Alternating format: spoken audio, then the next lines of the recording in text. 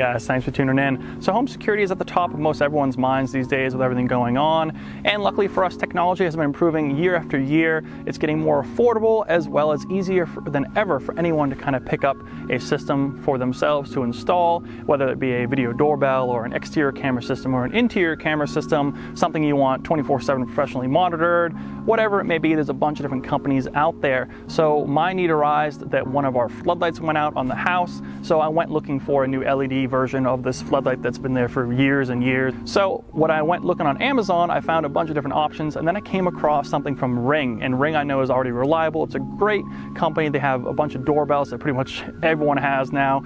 And the one new thing that I found they had is the Ring floodlight camera. So I went on Amazon, bought this myself and it does connect to a 110 to a 240 volt wiring and replaces your existing floodlight. You have the 1080p HD video with two-way talk. You have customizable motion detection, motion remote, activated floodlight so you can control everything through the app. The floodlight is well on or off, which is very nice. And it also has that motion uh, capability with the different levels of the sensor. And then you also have snapshot capture mode. So you can save all your videos, you can review your videos, you can share the videos, all that in a nice package with a real simple design. Two light bulbs or two LED bulbs and a camera hanging below. So I picked this up wanted to replace that floodlight. So what I want to do today is do a quick install and a setup for you. So if you do have one of these or if you're interested in one of these, I'll tell you it works really, really well. And I'll probably do a review down the road. So link will be down below for this, but let's get to installing. So let's first take a look at the packaging and then we'll get her unboxed and get to the installation. So you can see nice ring packaging, kind of similar to a lot of other cameras on the market. Slide off this outer sleeve all right, you got the nice ring box here. So nice packaging. You got a nice little foam piece up here protecting the camera itself. This whole part here actually comes out to reveal everything else that it's inside here. Real simple, easy to unbox. It's actually a pretty heavy unit. Uh, of course, the camera being the heaviest part about it, but you can see full adjustability on the LEDs right there. Put that over here, nice and safe. Again, here is your mounting bracket. Everything's real nice and padded for transportation. Water drain, good to note because this is an outdoor unit. All right, you don't want any kind of water getting kind of stagnant around the base there. Right there. Installation kit, mounting screws. All right, different kinds comes with a nice little screwdriver. And get your wire caps. All right, little hook there. So we'll talk about all that. And last but not least, we have our instructions. All right, little stickers there. Lights just control the floodlight so you can kind of know do not switch off. It's kind of nice. And I think I saw a little sticker. There you go. A little protected by ring sticker. All right, so that's what you get. Let's get this all cleaned up, take her outside, get her installed. So before you even get started on this whole install, you will need to make sure you already have a floodlight installed on your house. This one actually has kind of been kind of messing up recently. It's about 20 years old, so it's about time to replace. Uh, but you do need an existing uh, electrical box designed for a floodlight already installed so you can take off the old one and put on the new ring floodlight. All right, so what I'm gonna do is kill the power already to this. How you do that, you go over to your electrical box, find which one has the exterior lighting and just switch off the power. To test it, usually these have a little tester button on the bottom and it'll let you wave even in daylight, allow you to test the unit, see if the power is on, see if it's working, which is good because you want to make sure that it is definitely off. No power or current is going through the box when you take this off and put the new one on. So get yourself the proper screwdriver. Um, this is the only tool you'll need really because the screwdriver that comes with the ring should be all you need to actually install the ring, but you will need whatever the screw is to get this mounting off. So let's take it off.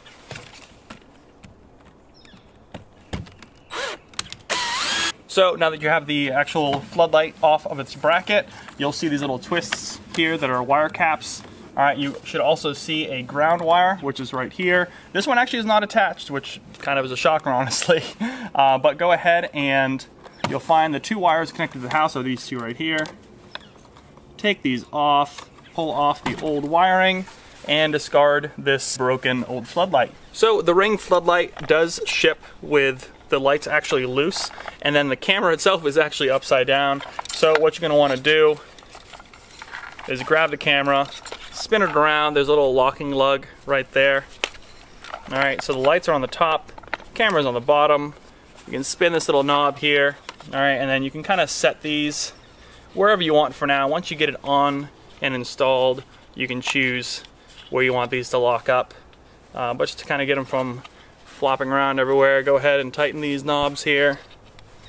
You kind of see how this is going to end up looking, uh, but it is fully adjustable, up, down, left, right. All right, so you see the camera is on the bottom there. Okay, so now first step you want to do is you have this mounting bracket right here, all right, with the downward position. All right, so these wires are going to go through here and you have to find out where the screws go. And unfortunately, the screws are on the top and the bottom on this bracket. So you're gonna have to go through this sticker and up here like that, keeping this, these two screws poking out nice and level with the ground. All right, so we gotta find the corresponding screws that came with the kit that fits the two holes in the bracket. All right, so let's go ahead and take a look at that right now. So take a bracket, run these wires through the middle like so, with that down arrow pointing down, find out where these holes line up with the two screws, go nice and flat, nice and parallel to the ground. This one should go right in this top hole right here. Get her started. And then this bottom screw right here is actually gonna go through this bottom sticker and line her up in there if you can. It's kind of hard to see sometimes. Get them started. All right, all right, just get it kind of snug. It doesn't need to be like super tight. You don't want to break the plastic bracket. A lot of the newer brackets are actually metal, so this is just kind of a cheap bracket in there. Uh, but now you have the wires through, let's go ahead and get the floodlight out. So this little bag right here has this little S-hook right here. Now, this is something that I've been kind of needing in my life for a long time with heavier things like ceiling fans and other light fixtures that you don't really want to hold up with one hand and kind of brace it against the mounting bracket while twisting the wires and getting the wire nuts on there. This is actually a hook that hangs like that.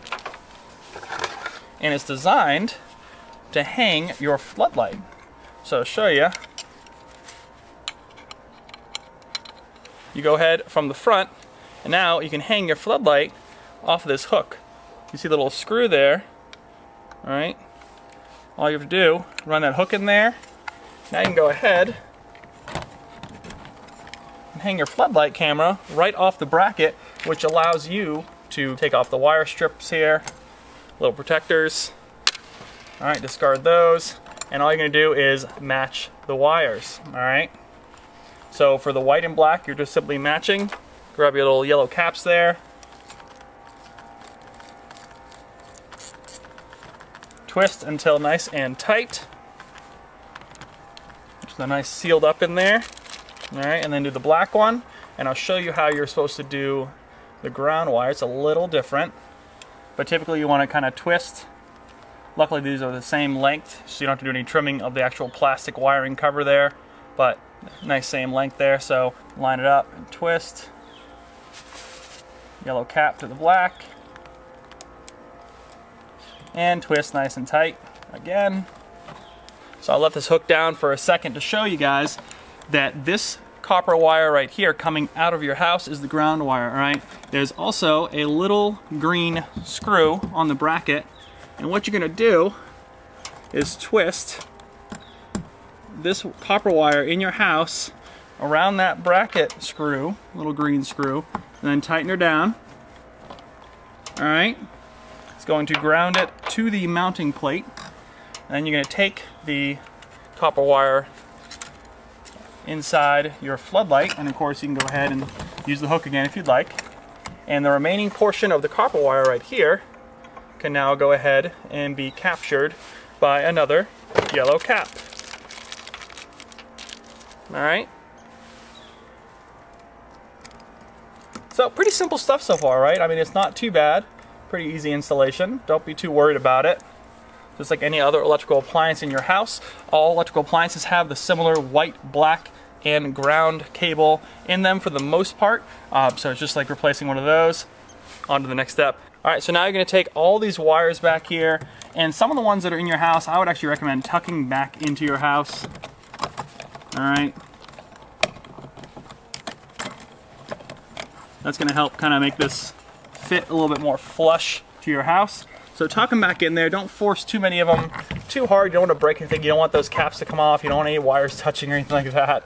Um, and you'll see that when you put these on, the little screw heads kind of poke out through. I can show you guys that. Loosen this up and show you.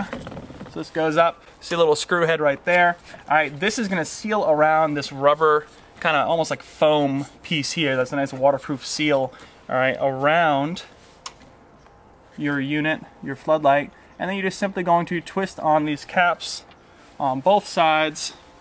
And it might help to actually point these floodlights to the sky to get them out of the way of the screw heads there. All right, there's about maybe just a little, maybe like about five or six threads poking through, so it's not a whole lot of real estate. And this doesn't really come with a wrench, but it does come with this little socket inside the handle itself, as well as another little screwdriver in there. So I'm thinking this might fit, let's see. Oh yeah, so that fits the head right there. So this little tool, nice little multi-tool that comes with the kit. So now you just twist it nice and tight. That little gasket in the back has um, a gasket on the out, on the inside, a piece of metal where the bracket is in the middle there, and another gasket on the outside, so it's going to kind of compress. All right, which is good. Nice waterproof seal.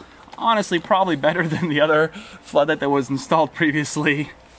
All right, and now you're good to go. So with the installation part, you're good there. Now what you can do is you can swivel these. All right, there's little collars on the end here. You can turn them wherever you'd like. All right, I'm just going to point them kinda like so, maybe a little bit down since it's a side yard floodlight. So get this one where you'd like it. I'm actually gonna point it down a little bit. Like so, kind of pointing out where there's a door is. All right, so you have some kind of visibility near where the side of the house is, where the trash cans are and things like that. So with the actual placement of the camera, you wanna make this kind of parallel to the ground, nice and level. You see where this little motion sensor bubble is, and the camera's up here with the two-way audio right there. This will allow you to make sure you have a nice flat parallel surface to kind of um, detect motion out to, it said 30 feet or so. So that's kind of how you want it set up and it looks good right now. So let's go ahead, get the power back on and we'll talk about setting this up in the app. And you can see she works. Nice soft white kind of light there. It's not too bad, not too bright for LED. Welcome to Ring. Follow the instructions in the Ring app to continue. So you just heard that's kind of the initial intro to kind of get your Ring app set up. Uh, the light comes on for a bit once you get the power back on, and then the Ring kind of Siri voice tells you to go ahead and head to the app, get things set up, get this synced. So let's do that now. So setting up the Ring app, you'll see you got to create an account or log in depending on if you already have the app set up or not. Create an account, type in your first last name, which country do you live in, email address, set up a password for your account. You know, real basic stuff when you're setting up an account for this kind of a system and where you have a profile set up for your actual camera. It's going to have you verify your account via email. It's going to ask if you want to link your Ring account with your Amazon account for different features. Email verified, let's go ahead and set up your location so it knows where you are, where your home is, or where this camera is set up at. And once you type in your home address, it'll find you on the map. You'll confirm that, and welcome to Ring, getting started. Set up a Ring device. Alright, you'll see the different kinds of Ring devices that Ring actually hosts. So you have security cameras, scan the QR code or Mac ID barcode on your Ring device. Has a little help me button there. You kind of see where these are. Security cameras. Take a little floodlight camera. So she's actually on the back, which is kind of annoying, but at least the camera swivels so you can move that out of the way. Alright, barcode scanned. And honestly, a lot of cameras have the scan feature now for QR codes. Blink, Nest, Ring, they all do it. Allow while using the app. Confirm your address again, then select where this is. Side yard, it's been installed. So once you do the two-step verification, that actually sends you a text message via your phone number, so you set that up. A lot of accounts do that now, kind of an extra security measure when signing into your account. Which is probably good for something like this, which it's a uh, based on a security system. All right, so now it's saying please wait up to one minute for your floodlight cam to enter setup mode when the light at the bottom begins flashing. Continue to the next step. It's going to want to set up its own Wi-Fi network ring setup 25, and that's going to help you set up the camera to connect to your own Wi-Fi at home. So it takes about one minute to find the Ring Wi-Fi then find your Wi-Fi. You log in, type in your password. So have that password handy so you'll be ready to go. And you'll see right here that this is kind of the next page. Fill in the blanks the snapshot capture. So we're talking about setting up the camera, kind of talking through some of the features here. Got it? Like to use microphones, we go for the two-way. And now you see kind of the setup we have. This is kind of the camera angle with the side of the house next door. So now you can use the adjustment colors and knobs to adjust the lights in the camera to kind of see fit. But this is the live feed right here. So you can see, uh, actually I had to tilt the camera down just a little bit. It was kind of tilted up from scanning that QR code. So make sure you tilt it back down and keep that motion sensor nice and parallel to the ground, nice and flat and level. So that way you can kind of get the full motion captivity that you're looking for when anything walks by or anybody's walking close to it. So you can see the trash cans out of the way there. There's the ladder I used, which is right below the camera to uh, install this camera. So you can see it has a good position and a good field of view there. Um, so of course this is great because it's going to replace that old floodlight that wasn't really working anyways. So it's nice to have a nice camera that's a nice floodlight that's working and it has a camera. So there you go. So now you're going to go ahead and test your internet connection, which is very important because you want to make sure that the camera is within range of your wireless router. So for some reason it came back twice that it wasn't connecting to the wireless router, but now it says success. So who knows? Uh, so tried a couple of times. It does say try again on there versus look up, learn more to kind of learn how you can fix your internet connectivity. But if you do have a, a weaker signal and it doesn't reach all the way, you may need to check into some of the steps to kind of fix that. Um, but this looks, seems to work just fine right now. And our wireless router is probably about 40 to 50 feet away from this camera and it's got of course a few walls in between the router and the camera but it does seem to connect now so I guess that's a good thing. Now this shows right here you can grant friends or family with uh, access to the camera if you'd like. It looks like you do have a kind of a introductory plan uh, that allows you to record access videos on Ring Motion live video events for up to 60 days, share videos, professional monitoring, cellular backup, Ring alarm, exclusive discounts. And now you'll see that actually lists off there's any nearby incidents reported to Ring, history, side, setup device, 30 days left on your free trial. So you do get a Ring protection plan, which is nice, and you can extend that well, hope you guys found this step-by-step -step video useful. If you're interested in picking one of these cameras up, link will be down below. It's right off Amazon. And as always, if you have any questions at all about the install or the setup or the app, feel free to leave them down in the comments. I'll be happy to answer them. And of course, subscribe to the channel, like this video, hit that thumbs up, really helps me out. Head on over to Instagram, follow us there, like us on Facebook for all the latest and greatest deals on the internet, and I'll see you guys in the next review.